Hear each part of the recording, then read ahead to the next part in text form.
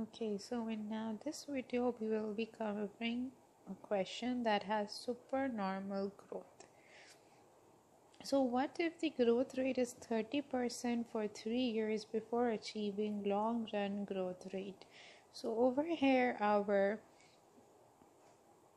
uh, sorry our D naught is still 2 our R is still 13%. So this is in continuation to the first example that we started off with. Now we're going to assume that the growth rate is 30% for three years. Usually, when a business starts up, at that point they are expanding. The business grows really quickly. So, in the initial years, usually businesses grow at a very fast rate. But after some time period, once they reach their maturity level, their growth rate is going to slow down and over here, after three years, it is assumed that the business will keep on growing at the 6% rate. Now, you can no longer use the constant growth model to find the stock value over here. So, you cannot use basically this model to find the stock price because the growth rate is changing, it's no longer constant. In order to use this model the growth rate has to remain the same till infinity तो ये वाला formula use करने के लिए essential है कि growth rate infinity तक एक ही रहे। ना over here you can see that the growth rate is changing starting में थर्टी परसेंट है पर सिक्स परसेंट है। तो you can not use this formula for the starting three years because infinity तक थर्टी परसेंट का growth rate नहीं जाएगा। Growth rate बीच में से चेंज हो जाएगा and it will become six percent yes six percent के बाद वो इन्फिनिटी तक इसी उस पर रहेगा ग्रोथ रेट पे रहेगा। This is is a long run growth rate which is also called the sustainable growth rate so so, however, the growth does become constant after 3 years. So, after 3 years, you can use this formula. Infinity तक, जब एक ही growth rate रहता है तो ये formula use हो सकता है और else you can not use this formula So let's now solve this question for that I'm going to open a note once again. Okay. So basically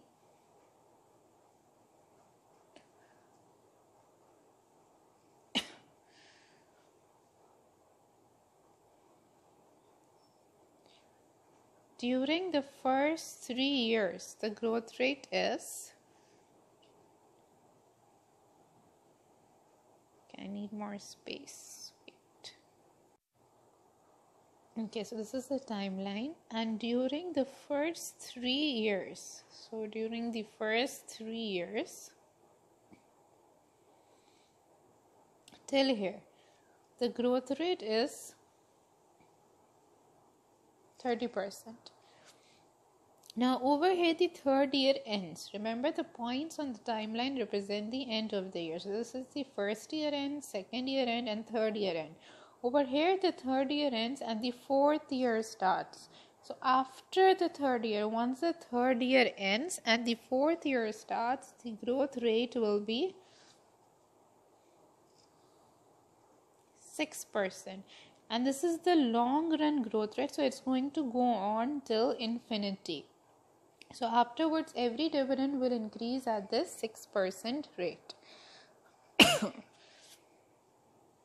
now the current dividend is 2. So first we are going to find out the dividend streams. So we're going to uh, we need to find out what will be D1, D2, D3, D4.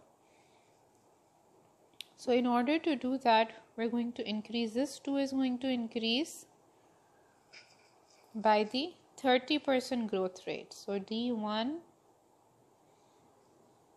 will increase by 30%. D naught is 2, 1 plus 0 0.3. This will become 2.6. So D1 is 2.6. Now this 2.6 will again increase at the 30% rate. So D2 will be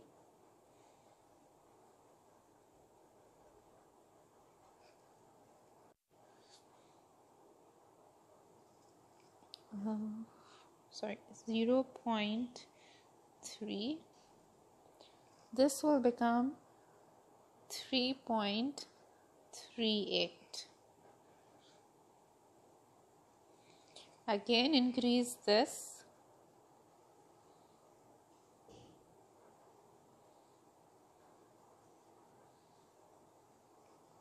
By the 30% rate this will become 4.394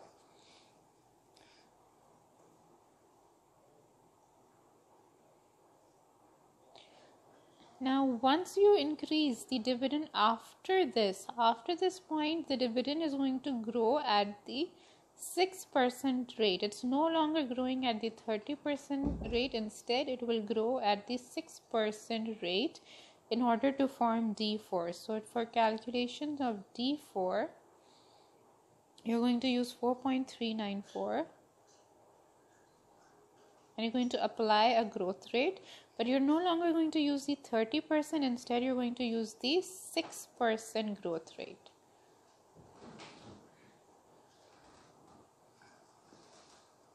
So this will be 4.658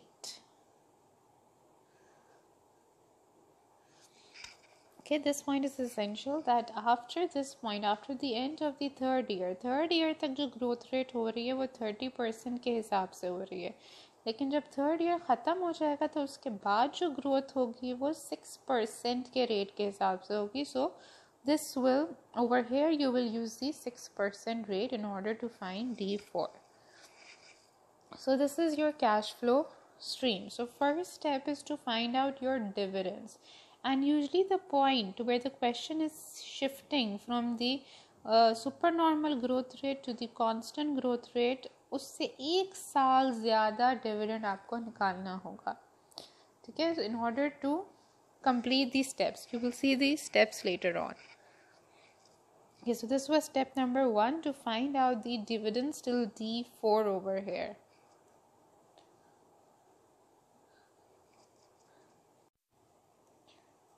Okay so once you have these dividends the next step is to find out p3 now why are we choosing this point and no other point? Because at this point the question is becoming constant forever. So over here you can use the constant growth formula. You cannot use the constant growth formula over here. Basically this is the constant growth formula.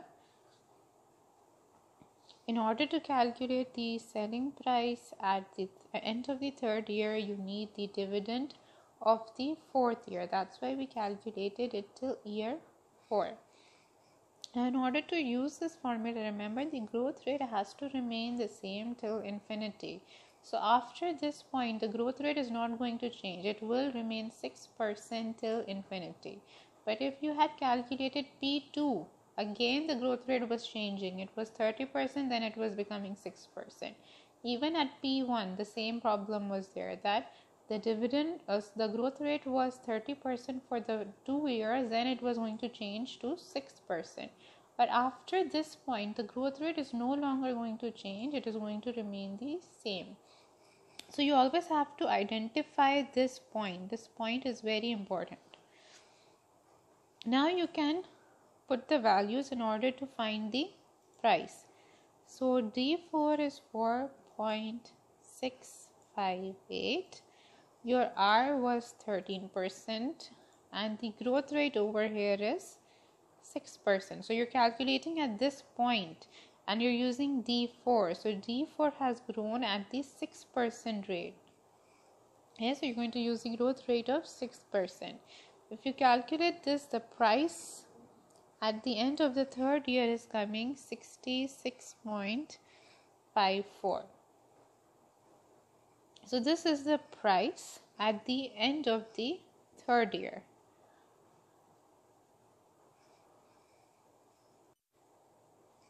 तो ये point जो कि three के ऊपर है, ये identify करना बहुत ज़रूरी है। एंड आप यहाँ पे ये वाला फॉर्मूला इसलिए यूज़ कर सकते हो which is the constant growth model because इस पॉइंट के ऊपर ग्रोथ रेट सेम रहेगा इन्फिनिटी तक। सो अब ग्रोथ रेट चेंज नहीं होगा। It will remain the same till infinity, whereas before that, the growth rate was not constant. It was going to change over here. Now once you have the price as well so i'm going to update this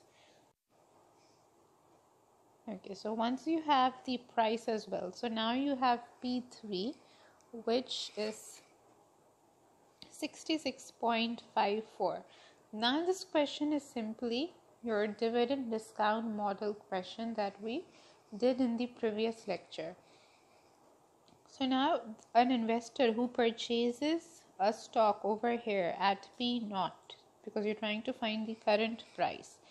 If the investor is purchasing the stock over here, he will get the first year dividend. Okay, let me just change the color so he will get the first year dividend, the second year dividend, and the third year dividend. Plus, at the third year, you know what is the selling price. So you can assume that at the third year, the stock will be sold out. And once he sells the stock over here, this is the expected price at that time. So this is the price he will get over here. So basically, this is the cash flow for an investor who will purchase the stock right now. So you have to find the present value of this cash flow that will be the stock's current price. तो अभी अगर कोई stock खरीद रहा है, उसे पहले साल का डिविडेंड मिलेगा, दूसरे साल का डिविडेंड तीसरे साल का डिविडेंड प्लस थर्ड ईयर पे आपको प्राइस पता चल गई है। सो थर्ड ईयर पे आप रिज्यूम कर सकते हो कि वो यहाँ पे अपना स्टॉक सेल कर देगा। जब वो थर्ड ईयर पे सेल कर देगा तो उसे थर्ड ईयर की प्राइस भी मिल जाएगी और जब उसने स्टॉक सेल आउट कर दिया तो फ्यूचर के डिविडेंड्स आप उसे नहीं मिलेंगे। और question is just going to stop over here so let's use the dividend discount model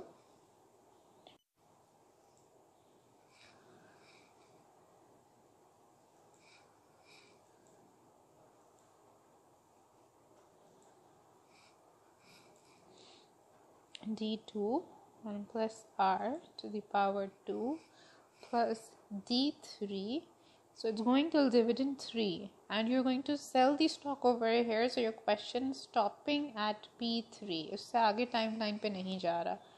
1 plus r to the power 3 we can plug in the values. D1 is 2.6 1 plus okay so the rate is 13%. Power 1. Then we have 2.38.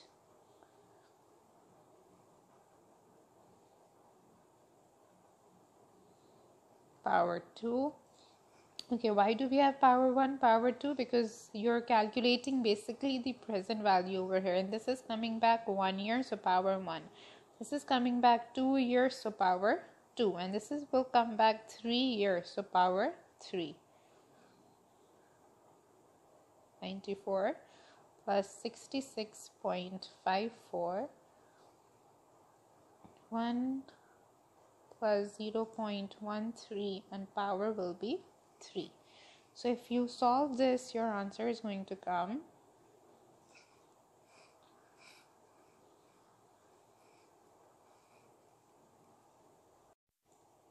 okay so the stock price came 54.11 now over here we assume that we are selling the stock over here that is something that i have told you in order to make it simpler for you but in reality it is not essential that you are selling off your stock over here ऐसा ज़रूरी नहीं है कि stock आप sell ही कर रहे हो यहाँ पे basically remember this that the price of the stock is the present value of all future dividends which mean D1 से लेके infinity तक so D1 से लेके infinity तक जितने भी डिविडेंड्स हैं उन सब की आपने प्रेजेंट वैल्यू निकालनी होती है in order to find out के स्टॉक की प्राइस क्या है Now this P3 over here, it is calculated using the constant growth formula which is this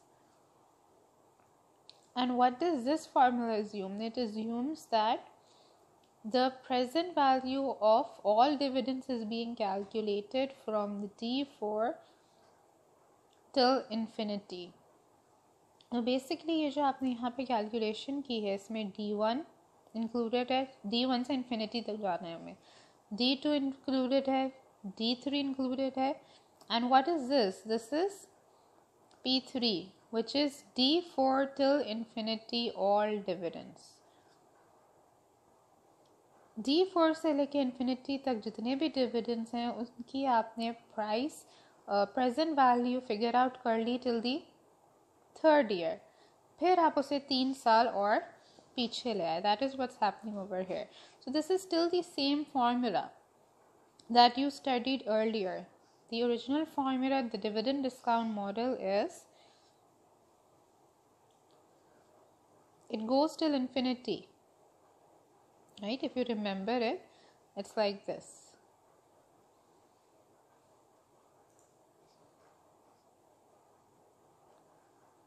And it goes till infinity over here. So all dividends from D1 till infinity, if you find out the present value of that, that is the price of the stock. This is what's happening over here as well. You're finding the present value of D1, D2, D3 and D4 to infinity is actually included over here. So all of the dividends till infinity are included in this formula and you're finding the present value over here If this is difficult for you to understand, you can simply uh, use the other method, which is simpler. That wherever you have the price, you can assume that you will sell the stock over there. If you're selling the stock, तो ऐसे investor की cash flow क्या हो जाएगी उसे D one D two D three मिलेगा और third year की प्राइस मिलेगी उसके बाद के डिविडेंड्स उसे नहीं मिलेंगे for calculation purposes you can assume that okay so I'm going to close this. Basically this is what we have already solved. Okay this is what we did. Now find the expected dividend and capital gain yield during the first and fourth years. So first we're going to do it for the first year. The dividend yield formula is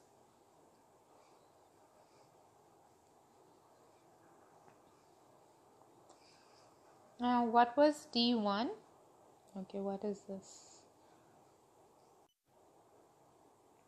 Okay, so D1 was 2.6 if you go back to your previous calculations, and the P naught was 54.11, which you calculated. So the dividend yield will be 4.81 percent.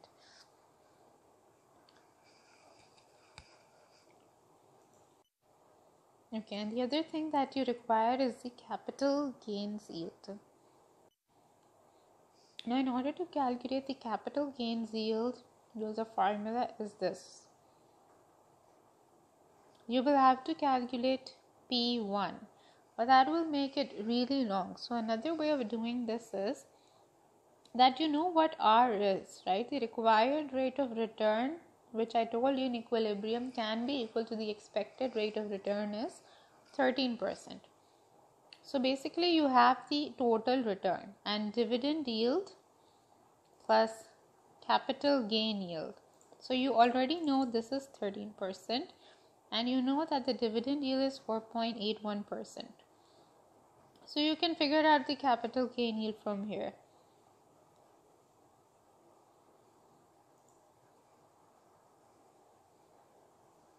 Converting into decimals because usually students make this mistake that instead of uh, subtracting 0.0481 because it has a percentage sign they will subtract 4.81 so do not make this mistake.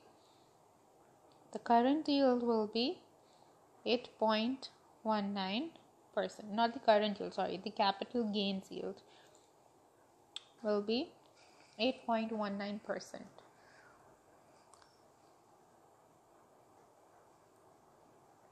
Now over here, remember the growth rate during the first three years was 30%. But this growth rate is not constant. If it would have been constant, you didn't even have to calculate this. In that case, your capital gain yield would have been your growth rate. They would have been equal. But because over here, it wasn't constant forever, it was going to change. You cannot use that. But in the fourth year, it becomes constant at the 6% rate. So in the fourth year, you can assume that the capital gain yield will also be 6%. Well, let's do it through an example in order to make sure that you understand it. So I'm going to go ahead. So fourth year, during non-constant growth, dividend yield and capital gain yield are not constant and capital gain yield does not equal to your growth rate. तो यानी कि जब growth rate आपका thirty percent चल रहा था starting के three years में वहाँ पे ग्रोथ रेट आपकी कैपिटल गेन यील्ड के बराबर नहीं है ठीक है both are different capital gain yield आपने निकाला it was coming 8.19% during this time. Whereas after T3, the stock has constant growth and capital gain yield. So when it becomes constant forever, your capital gain yield and your growth rate become equal. So यहाँ पे आपको capital gain निकालने की ज़रूरत नहीं है capital gain आपका six percent है यहाँ पे So if we calculate the values, okay, so it's not done over here. Wait. Okay, so over here your capital gains yield. So again, you can use the same formula. R is equals to dividend yield plus capital gains yield. Now you know this is 13%. Dividend yield you do not know, and the capital gains yield is 6%. Okay, why is it 6% directly over here? Because over here the growth rate is constant forever. Now this is plus over here on that side it will become negative. So this is your dividend yield. You can just solve this now.